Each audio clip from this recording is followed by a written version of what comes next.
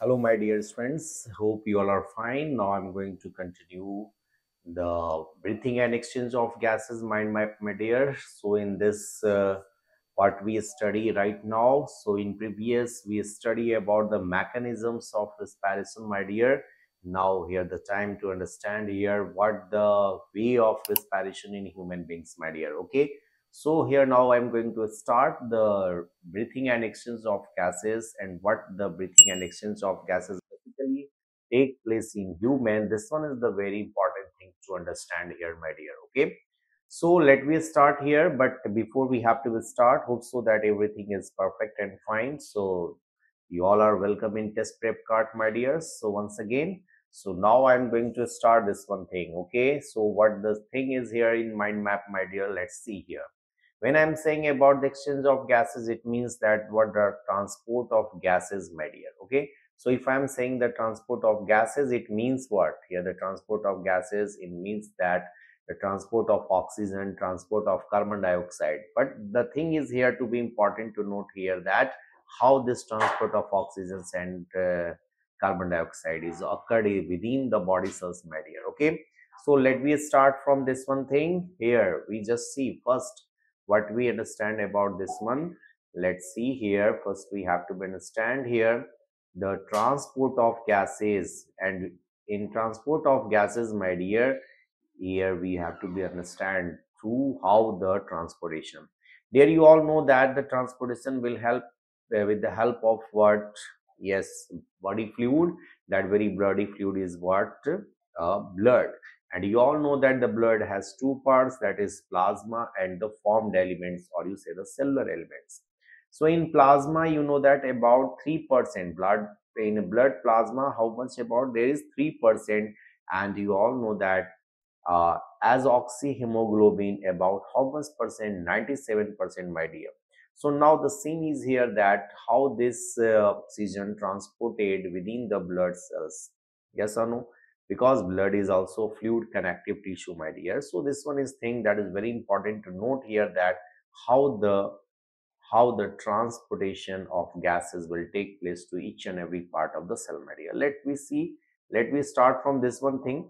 But before we have to be no, uh, come through this one transport of the gases here also we have to be understand here the exchange of gases between blood and tissues and between alveoli and blood right now the question is here how it be performed. Let me see with the help of the NCERT. So before we have to go on NCERT, here there's something that is very important to know my dear. Here that is how the respiration will take place in human my dear. Okay. So let's see if anybody can ask you about the respiration in the human here the word transport of gases my dear. What I'm saying I'm saying here that transport of gases. So if I'm saying here that the transport of gases mainly occurred with the help of the word fluid connective tissue. So transport of the gases, what I'm writing here, it occurred, it occurred with the help of, with the help of what my dear, fluid connective tissue. What I'm saying, fluid connective tissue. And you all know that the fluid connective tissue is which one? Yes. That is what my dear blood. That is what? Blood. And in the blood it consists of two parts. You and you all know that blood consists of how many parts? Two parts my dear. One is what? Plasma. Number one is what? Plasma my dear. Okay. And second one is what? Formed elements. Second one is what? Formed elements. You all know formed elements. And this formed elements my dear what that is that is first rbcs second one is what my dear wbcs and third one is what platelets. Third one is what platelets my dear. So these all are the formed elements. Now the question is here how the transport of gases will take place mainly you know that the oxygen binder that is what whom RBC. So O2 is transported with the help of RBC. O2 is what I am saying here transported transported with how RBCs, red blood cells, or you say the corpuscles, my dear. So oxygen is transported with the RBC. Now the question is here how sir? So let we uh, check through NCERT, my dear, how this will this will occur. Okay. Now see here the mechanisms of the breathing. Here we understand about how this mechanism of breathing that is during breathing involves. You all know that two stages, my dear. One is what inspiration. Second one is what expiration, my dear. Okay. So let me start from this one thing, how the inspiration and expiration will take place, my dear. Okay. So let's check here. The two thing is here very important to understand here that how the inspiration and expiration will take place, my dear. Okay. So let's see. Whenever I'm saying about this term inspiration, it means what? It means that uh, taking off uh, oxygens, my dear. Okay. And whenever I'm saying about the term expiration, it means what? It means that we exhale carbon dioxide but now the question is here how this inspiration and expiration will take place okay so let's see. If i'm saying here about this one thing that inspiration it means what? During inspiration with atmospheric air is drawn in. Atmospheric air it means that that very air is what? Mixture of gases. And mixture of gases whenever i'm saying that gases contain nitrogen also oxygen also carbon dioxide gases also each and everything gases will be there. And that very gases is what? Very important for all of us my dear. Yes so that's why i'm saying here that mainly the exchange of gases will take place during inspiration. But now in the question we in what expiration what we understand here expiration my dear in expiration it means what? Here the alveolar air is what released out. What i'm saying? Released out. It means that whenever we intake of their oxygen, not only we, we take oxygen, we take all the rest other gases also. So during uh, inspiration, all the gases, whenever we take that time, only the oxygen goes diffused within the body cells. And basically you know that the oxygen is required to decompose the food whatever we eat my dear. Okay? So here i'm saying that the movement of air into and out of the lungs is carried out by creating a pressure against gradient my dear. And this pressure against gradient will be occurred with the help of their what? The lungs that the lungs is an important organ for the exchange of gases here. Okay? Now second thing that is important to understand here that how the pressure within the lungs built here the pressure whenever i'm saying that the pressure is with their what? Intrapulmonary pressure. What i'm saying intrapulmonary pressure. So this intrapulmonary pressure is what less than the what atmospheric pressure my dear. So if I'm saying here that whatever the pressure, whatever the pressure within the lungs is less than the atmospheric pressure. Clear? So whenever the pressure within the lungs is less than the atmospheric pressure, there is negative pressure in the lungs. There is what type of pressure? Negative pressure, my dear with respect to atmospheric pressure. So during expiration and expiration, there is what intrapulmonary pressure is what higher than the atmospheric pressure, my dear. This one is very important line. So during expiration, which one is higher than the atmospheric pressure? Yes, intrapulmonary pressure is what higher, my dear, than the atmospheric pressure. So in the meanwhile, the diaphragm and a specialized set of muscles also, my dear, external and internal intercostal mus muscles also have what help in the generation of such gradient my dear. Now the thing is here very important to understand that how this contraction of external intercostal muscle lifts my dear okay? So during this time external intercostal muscle lift up the ribs and the what sternum causing an increase in the volume of the thoracic chamber in the dorsoventral axis, my dear. So this one is important line to understand here that how this sternum cause an increase in the volume of thoracic chamber. So you know that whenever we intake that very air, that very air is what? That very air increase the capacity of the lung chamber so that the lung chamber filled with the airs and meanwhile that air contain oxygen goes diffuse within the alveolar my dear so overall increase in the thoracic chamber thoracic volume causes similar increases in pulmonary volume also. So once the once the thoracic volume goes increases in the same way the increase in the pulmonary volume also my dear. Okay?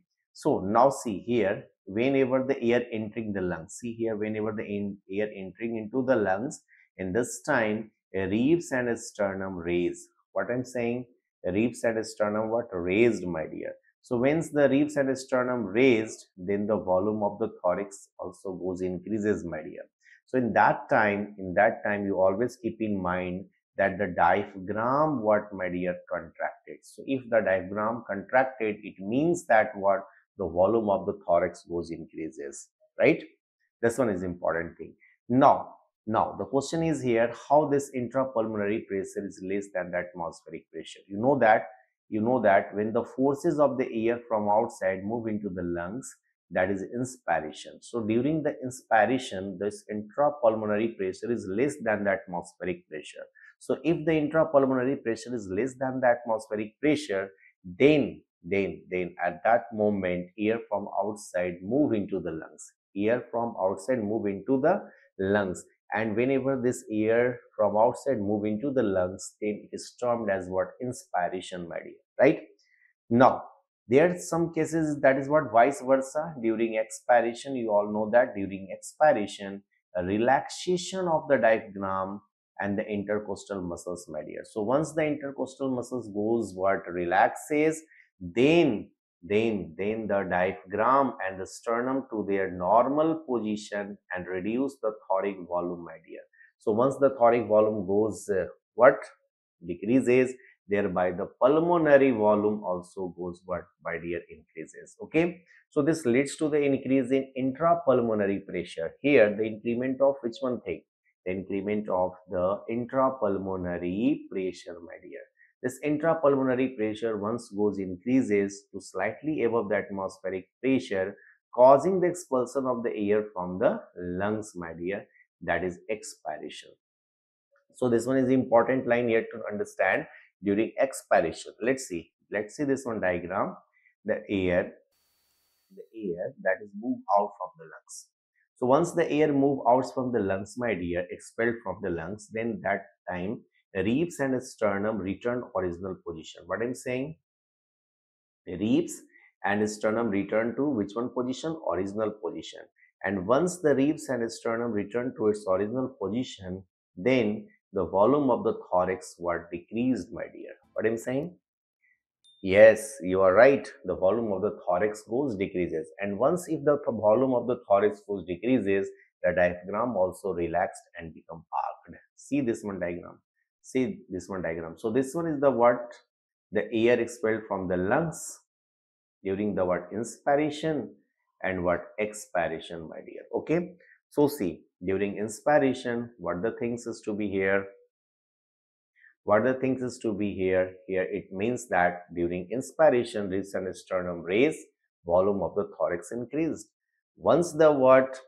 Expiration diaphragm relaxed and arced upward. So it means here that the volume of thorax decrease and the ribs and the sternum return to its what original position, my dear. So this one is the what antagonistic or you say the vice versa during inspiration or expiration, my dear. Now here the question that how the increase increase the strength of inspiration and expiration with the help of muscles Yes or no? That very muscles in the abdomen which is responsible for for what increase the strength of inspiration as well as what expiration my dear okay? So this one is very important line. So on an average you know that healthy human breathe how much times? 12 to 16 times per minute my dear. So in a one minute the healthy human what breathe at least how much? 12 to 16 times. Yes absolutely you're right so the volume of the air involved in the breathing movement can be estimated by using a spirometer. So see, here one of the term is very important here, spirometer. Spirometer is an instrument which is helpful in clinical assessment of pulmonary function. So now I'm going to write in a slide also that spirometer. spirometer. See, this one is very important line. So that's why I'm saying to you here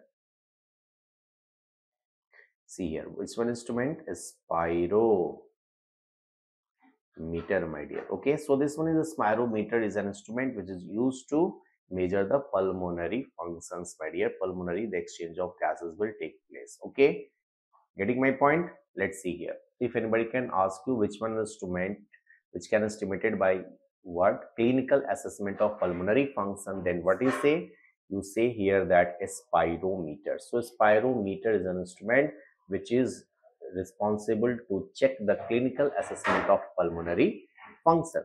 So see here the two diagrams that is uh, basically responsible for the mechanisms of breathing. So during the mechanisms of breathing here the two thing is important here. One is what? Inspiration. Second one is what? Expiration. Now the question is here. Now the question is here. Sir respiratory volume and capacities so whenever during inspiration or expiration what the respiratory volume and their capacities this one is important point to understand here okay? So let's check here. One first thing that is very important to know. First one is that is what tidal volume. So if anybody can ask you about this one tidal volume then what you reply you will say there that the volume of air inspired or expired. See what i'm saying. Whatever the volumes just i'm marking here the terms volumes of air inspired or expired during normal respiration suppose i'm sitting here i'm teaching right now. So in this meantime what i'm doing i'm respiration doing or not? Yes definitely sir you are doing respiration as well as breathing also. So here what i'm saying i'm saying here that whatever the volume of air inspired or expired during normal respiration it approx how much milliliter my dear that is 500 milliliter okay? So you know that that is a healthy person can inspire or expire approximately 60,000 my dear sorry 6,000 to 8,000 milliliter of air per minute my ear. This one is important line. Clear? Clear? Now i'm going to repeat here the tidal volume word the tidal volume is such a volume it means that during inspiration or expiration a normal human body or you say the healthy human body can inspire or expire approximately 6000 to 8000 milliliter of per of air per minute my year. so whatever this expiration or inspiration during uh, breathing or you say the respiration my dear that very volume is known as what? Tidal volume. Getting my point so approximately the value is here is what 6000 to 8000. So this one is very important point to be note here. Just to have take out your copy and write down this one thing also. Now the second thing, now the second thing here is dear what? The second thing is here that inspiratory reserve volume that is IRV. So whenever I am saying here that the inspiratory reserve volume, it means what? Inspiratory reserve volume, it means that additional volume of air what i'm saying? Additional volume of air. So once the additional volume of air it means that a person can inspire by a forcible inspiration. See in this way. In this way if any person can do this one is said to be the inspiratory reserve volume. In this meanwhile the average 2500 milliliter to 3000 milliliter my dear. Okay? Now now, the next thing that is what expiratory reserve volume. Expiratory reserve volume in short way we represent ERV. Here, additional volume of air, whatever the volume of the air a person can expire by a force forcibly expiration, then this average is how much? 1000 milliliter to 1 1100 milliliter my dear. Okay?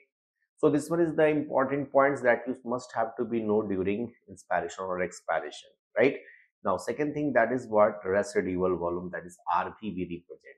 We, how what the meaning of RV residual volume? It means that whatever the volume of air remaining in the lungs, remaining where? In the lungs, even after by the forcible expiration, even in this way, whenever the forcible expiration will take place, this average, there's some amount of the volume of air remain in the lungs that is 11, 1100 milliliter to 1200 milliliter, my dear okay so this one is very important now next thing that is important to know here inspiratory capacity that is what IC my dear if anybody can ask you about the, this term IC that is inspiratory capacity then how you how you define this thing and how you just give this information about this inspiratory capacity. Let's see here. Here I'm going to say, say you the total volume of air or person can inspire after a normal expiration. See what I'm saying here that whatever the total volume of air of a person can inspire, inspire. And after a normal expiration this includes the tidal volume and inspiratory reserve volume. That is TV yani tidal volume along with the what inspiratory reserve volume and combined together then it forms what? Inspiratory capacity. And you know that the inspiratory capacity is what different in different mammals my dear okay so whatever the total volume of air a person can inspire after a normal expiration that is known as what? Inspiratory capacity my dear okay? Now the next thing that is important to understand here that what? Expiratory capacity is so what do you mean by expiratory capacity? Expiratory capacity it means that whatever the total volume of air listen listen again what i'm saying. Whatever the total volume of air a person can expire after a normal inspiration suppose if i'm here taking what normal inspiration so here if i'm taking the normal inspiration in this time of whenever the person can expire after a normal inspiration this includes the word tidal volume and respiratory reserve, dear. Res, uh, uh, expiratory reserve volume, it means what? That the tidal volume along with the word expiratory reserve volume, then it is termed as what? Expiratory capacity. So again, I am repeating, whatever the expiratory capacity, the expiratory capacity is totally depend on the volume of air a person can expire after a normal inspiration. Getting my point? So this one is the thing. Now, Another one that is what functional residual capacity that is FRC. FRC it means that the volume of air that will remain in the lungs. Remain in the lungs. When?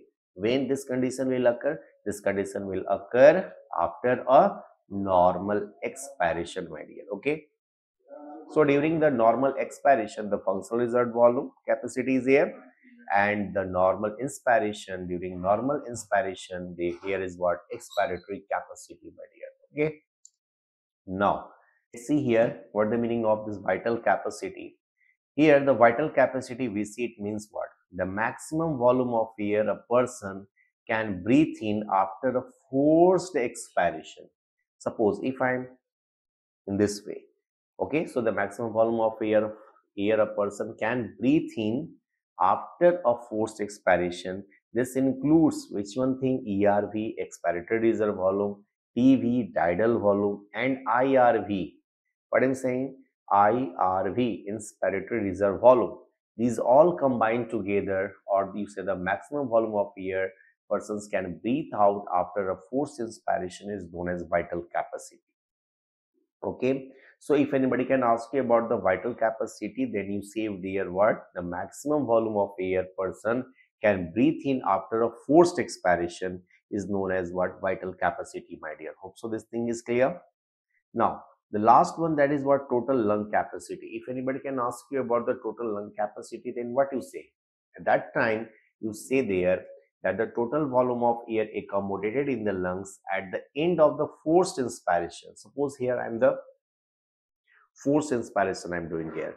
So in this very include reserve volume, expiratory reserve volume, tidal volume, and then after what IRV or you say the vital capacity or along with the what residual volume idea. So these all are the very important things that to be noted here, right?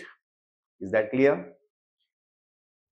Now, Next thing that is what exchange of gases. We all know that during inspiration or expiration there is what exchange of gases will take place my dear. Now the question is here how this exchange of gases will take place right. So see if I am saying here that the exchange of gases will take place from the primary site alveoli. You know that the alveoli is what? Alveoli are the primary site of exchange of gases. So if anybody can ask you which are the primary site of exchange of gases then what you say alveoli my dear so alveoli is a what nothing it is a small bag or a sac like structures where mainly the exchange of gases will take place so here exchange of gases also occur in between the blood and tissues my dear so see if i'm saying here that the exchange of gases occur between the blood and tissues then it means that here oxygen and carbon dioxides are exchanged in these sites by simple diffusion. What I'm saying? Simple diffusion. So simple diffusion is the method in which the mainly the oxygens and carbon dioxide are exchanged. Okay. Now here the pressure also contributed by a individual gas in mixture of gases called partial pressure and that partial pressure is represented as PO2 for oxygen and PCO2 for carbon dioxide. Here it means that the pressure is what contributed by individual by individual gas in a mixture of gases. My dear is called partial pressure and represented as what for oxygens and for what carbon dioxide right? Here the data also given check here. Here the data also given that uh, what the partial pressure what the partial pressure in mm of Hg of oxygens and carbon dioxide at different parts involved in the diffusion diffusion in what comparison to those in what atmosphere. Let's see. Here the thing that is asking you that you have to be uh, mark that very partial pressure in a in a uh, meal that is uh, what the oxygens and carbon dioxide because oxygen and carbon dioxide parts involved in the diffusion is comparison to those in atmosphere. Let's see here. The respiratory gases oxygen, atmospheric air 159. So alveoli how much 104. So here the blood deoxygenated is how much 40. Blood oxygenated is what 95. So which one is the form also affected? That is what tissue might be. Getting my point? So this one is the thing. So now second thing that is important to understand here that carbon dioxides CO2 that is a respiratory gas and atmospheric air 0.3, alveoli 40, blood deoxygenated 45 and blood oxygenated 40. So if we unite together then it forms what 45 and this very 45 uh, air will that is a filter air that is passed to there by different types of tissues my dear. Is that clear? Now here the diagrammatic representation of exchange of gases so here see how the exchange of gases will take place. This is very important point to understand. So you know how the exchange of gases will take place. This exchange of gases will take place with the help of in the same way that how the circulatory system will occur my dear. Okay. So let's see here on the top that is what lungs and in the bottom that is what body. So this one is the diagram I was also told in previous classes also dear. Okay. So see if anybody can ask you that how this one exchange of gases will take place you can easily define such exchange of gases can easily be take place with the help of the diagram so whatever the diagram given in the biology each and everything is completed so the teachers is what also responsible to go through that very diagram and show the students that how this diagram is given here and what the relation of the gases along with the transportations okay so are you all ready to know here? Yes, if you are ready to know here, then I will continue. So see, if I'm saying here that this one is the exchange of gases, my dear. So this one exchange of gases is responsible for how the mainly gases will transported to each and every part of the cell. This one is very important point. Getting my point or no? So see, here this one is what on the top that is what lungs and this one is heart, this one is body. So whatever the oxygenated blood that passes through pulmonary vein to where? Where? Where? This one is left auricle left ventricle always oxygenated blood. And here the systemic arteries that carries the blood towards where body organ my dear. And after that whatever the body organ receive that carbon dioxide that passes through systemic vein where systematic systemic vein? Inside the yes here. This one this one is what? Systemic vein. And this systemic vein carry the body oxygenated blood to the heart. And after that the pulmonary artery carry uh, pulmonary artery carry deoxygenated blood into the alveolus my dear. Okay? So here the blood come inside the heart at two times. So that's why here i'm saying what? Double circulatory system my dear. Okay? This one is the important thing. Now next thing that is what how the these gases will transport and these gases will transport with the help of their what? A small projections that is villi my dear. Okay? So this one is the thing that is we have to be discussed in short details of this mind map. When we move ahead then we go through these all things line by line my dear. Okay? So thank you for watching me. Thank you. Have a nice day. Take care